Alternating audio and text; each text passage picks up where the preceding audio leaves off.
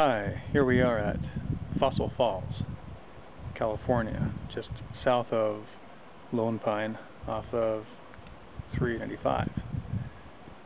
Uh, this is uh, an ancient riverbed of uh, this water has carved out the igneous rock over the uh, many years and uh,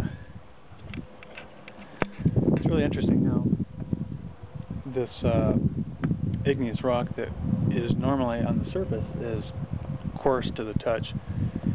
In this uh, riverbed here, how the water has just sculpted the rock and has actually worn it's quite smooth. Uh, some of these rocks, uh, on climbing them, they can be a little bit slippery. Going to leave the camera forward here so you can kind of get an idea of what it looks like.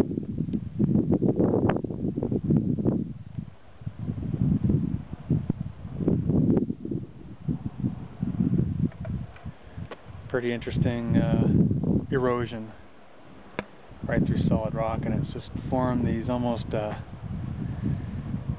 modern art structures